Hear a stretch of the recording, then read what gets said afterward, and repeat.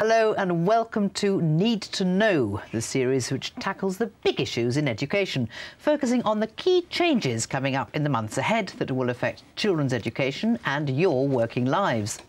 We'll be tackling a range of issues, including the new Key Stage 3 curriculum, discipline powers for teachers, healthy eating in schools, diplomas, and plans to raise the education leaving age. But first, to guide us through changes coming into effect in September about the way we teach and assess the very youngest children, I'm joined by the man who can tell you what you need to know, education writer and broadcaster Mike Baker. Mike. Thank you, Sheena. Well, back in 2005, when the plans were first unveiled for the early years foundation stage, the headlines talked about Big Brother and babies being taught to speak by state diktat. It was inevitably, I suppose, dubbed the National Curriculum for Toddlers. Some critics said it would stifle the creativity of teachers and childminders, who they said were better placed to know how to develop young minds than experts in Whitehall. Many others, though, welcomed this new and legally enforceable framework based on what was considered best practice. So, what do the plans really mean for you and the under fives? Well, for the first time, all very young children will be legally covered by the early years foundation stage from September 2008. It sets out the requirements for the safe and supportive care and the learning and development needs of children from birth to five. It details the statutory requirements for all early years settings, covering safe environments and staffing, and the phases and themes for the way these children will learn, develop and be assessed. Until now, the learning and assessment of children from birth to three was covered only by voluntary guidance. This new foundation stage brings them and three to five year olds together under a single umbrella. It will affect childminders, nursery nurses and teachers in all registered early years settings and will have the same force in law as the national curriculum. So, a new set of legally enforceable rules for nursery schools and childminders involving, of course, Ofsted inspection and the risk of a poor report if you fall short. So why the change? Well, the answer is that the government has been convinced by research that it's vital to make sure every child gets a good developmental start, and ministers decided that the current advisory arrangements needed formalising. Despite the criticism from some quarters, the Department for Children, Schools and Families insists this is not about centralised control.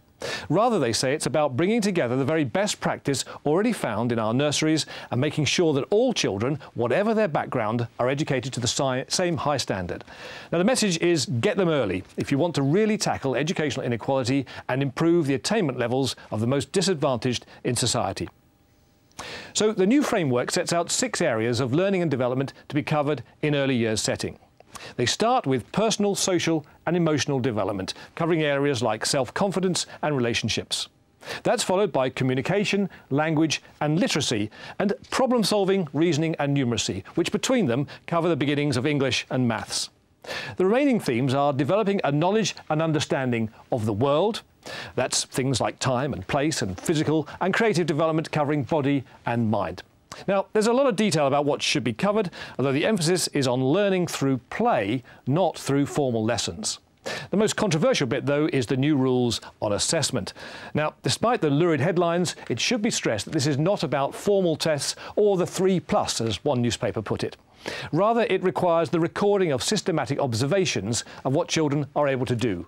Ministers say it'll all be very useful for making sure that every child's development needs are individually addressed and passed on to schools.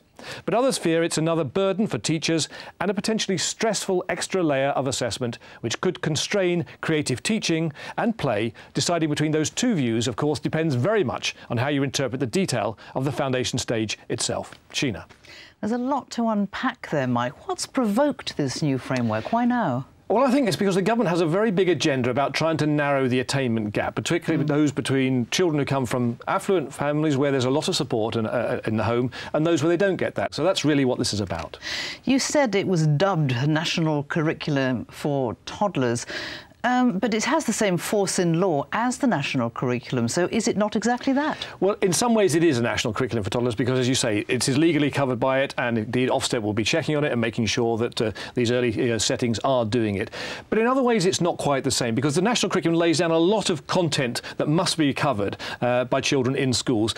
This gives lots of guidance about areas, but it doesn't lay it down in quite the same way. Nevertheless, there is a real debate about that, and we'll hear some different views in a moment. Let's hear first of all from Julian Grenier. He's a nursery school head teacher from North London.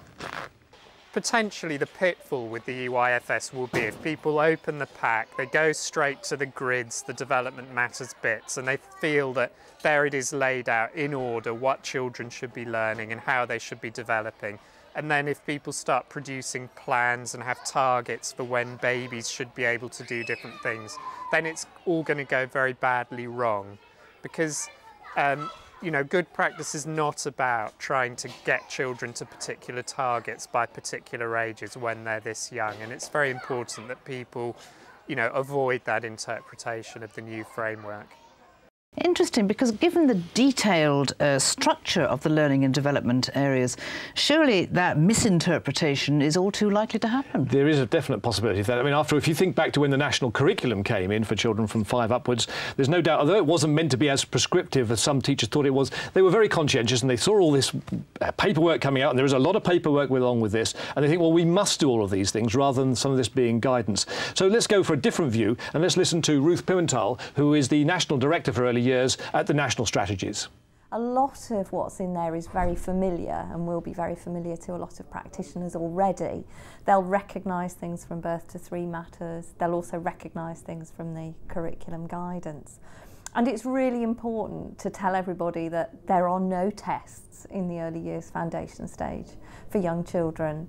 The assessment of young children is based on observation, based on a practitioner's own observations of children at play in a range of situations to ascertain where they are in their learning and to actually use that information to plan their next steps, to, to plan where they're going to take the children in their learning and development over the next few weeks and months.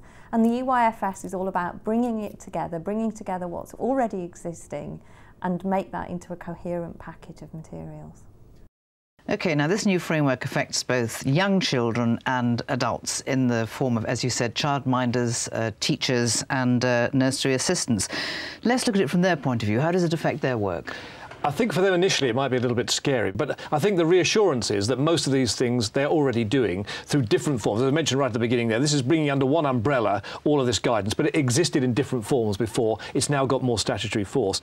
And how do you successfully achieve uh, the correct balance between formal learning at that very early age and, and play? Yeah, that's a crucial, absolutely crucial point, really. It does stress in the documents that it is all about everything in this is delivered through play. But nevertheless, some people are worried that it might not work out that way. Let's listen again to Julian Grenier, uh, the nursery uh, school head teacher. The other difficulty that might come with the EYFS is a feeling that it has kind of set out everything you should do from children all the way from birth to the end of the reception year. And then that in turn would turn teachers, nursery education workers, childminders really into kind of technicians, just pushing children through those different stages and that will really do a big disservice to, to children in England. And I suspect Julian Grenier isn't a lone voice and what, what he's expressing is that the, this universality risks um, getting rid of the, the, the, individualism that each child represents. There is definitely a danger of that as he, as he rightly points out. On the other hand, this is all meant to be personalised learning from naught, if you like, so it's all meant to build on what each individual child is capable of doing and observing what they're doing and then building on that. Mm. And that's very much something that the, the people who defend this uh, insist on, that they don't want people to become technicians, as Julian Grenier talked about. Uh, let's hear again from Ruth Pimentel from the National Strategies. At the very heart of the EYFS, we put forward the principle about each unique child and that actually the starting point for any work in the early years needs to be really getting to understand that child and work with the child and the family to understand their learning. What we do have in the practice guidance are um, some actual outline of children's learning and development from birth to help practitioners understand what they need to plan for, what they need to look out for, what sort of resourcing they need to think about, and that's laid out in the practice guidance. So there'll be no toddler tests, and yet these very young children will be assessed. How? Yes, the assessment will all be done through observation, no sitting down, no formal sort of reading and writing tests like that. All observation while they're doing their everyday play and activities they're involved in. And they will have to be done, there'll have to be a, a profile filled in as the children come up to five, and that'll be against a certain grid. And there are quite a lot of things that have to be filled in by the teachers, and they don't have to use the profile that's offered, but they can if they wish. Unpack the detail of that for us, please. OK, well, there's quite a lot, because in all, there are 13 assessment scales. Now, the first group cover general development. That's namely dispositions and attitudes, social development, emotional development. The next group cover literacy and numeracy, namely language for communication and thinking, and the linking of sounds and letters. This group also covers reading, writing, numbers as labels and for counting, calculating, and finally shape, space, and measures. Then there's the broader category, knowledge and understanding of the world. And finally, children are assessed on their physical and creative development. Now, against each of these, the practitioner must record a point score from 1 to 9. The descriptions of each level are too numerous to give here, but they are on the DCSF website. However, let me give you a taste of what it means to reach the top level, or level 9, which means a child has fully met the learning goals. So under the heading of emotional development, a child scores 9 if they show a strong and positive sense of self-identity and can express a range of emotions fluently and appropriately.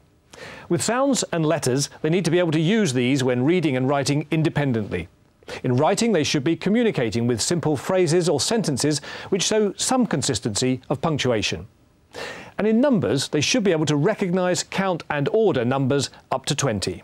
That is a mighty span of skills that children have to achieve and teachers have to assess.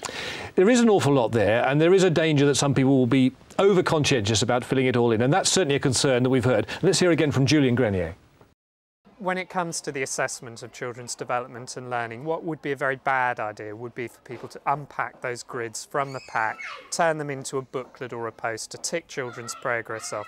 Children, young children, just do not learn and develop in that sort of neat and orderly way. What will be much better will be if people look at the principles and the practice guidance, look at the practice card about assessment, and continue to do what's already known to be good practice in early education, which is narrative observations, taking observations of children at their work and at their play, thinking about the child's development and their learning, thinking about what will help them to move on next. Tick boxes will not be a good way forward for children in the early years foundation stage.